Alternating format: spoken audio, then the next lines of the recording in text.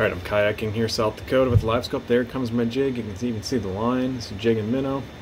Saw some perch here. You can see there's a big one right there. Just numbers. I mean, look at them all. There's tons of them. They're coming up after it. Look at them all. There's probably 20 or 30 in there.